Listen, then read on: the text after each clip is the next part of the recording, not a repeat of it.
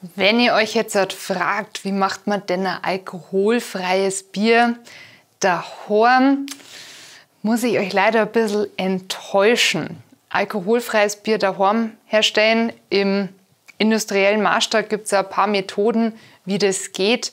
Nur für daheim wären die einzigen Optionen, dass ihr im Endeffekt in der Würze oder dann im fertigen Bier noch sehr viel Zucker überhaupt.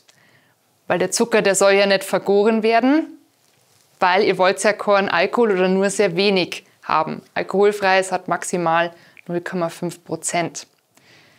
Die unvergorenen Zucker, die ihr dann noch hättet, sind natürlich ein komplettes Festmahl für euch an Hefen, Mikroorganismen, die ihr daheim in der Luft habt, überall habt.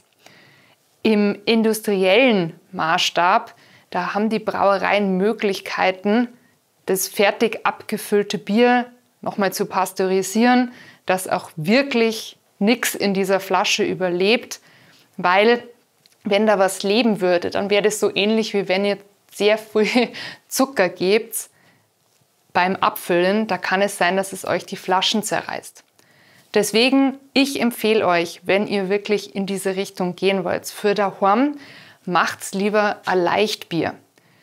Leichtbier, da seid ihr dann bis ja, 6 bis 9 Prozent Stammwürze. Da könnt ihr auch super Biere machen, so ein bisschen hopfenbetontere, aromatisch hopfenbetontere, funktionieren da ganz, ganz toll.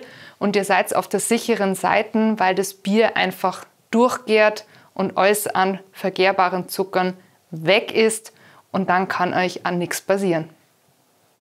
Das und viel mehr findest du auf siebenhauben.com.